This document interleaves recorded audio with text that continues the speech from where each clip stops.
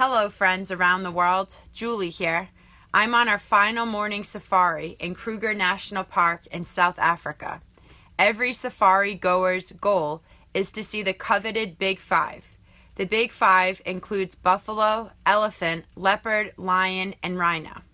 Yesterday, we spotted the leopard, which concludes the hunt for the Big Five.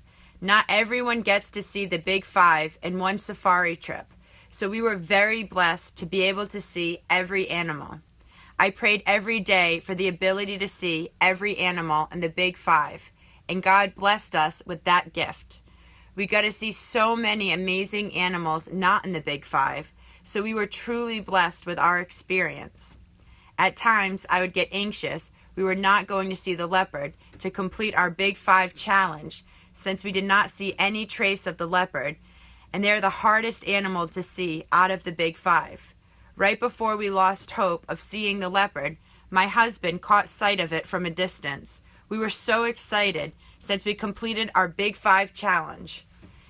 The anxious state I was feeling about the situation, along with the surprise of the leopard, reminds me of a verse from Philippians in chapter 4, verse 6, which states, Do not be anxious about anything but in every situation, by prayer and petition, with thanksgiving, present your requests to God.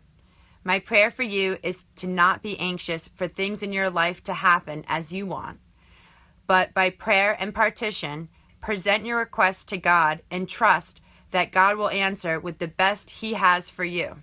Sometimes He answers with something different, but in time it ends up being much better than you asked for or could ever even think of.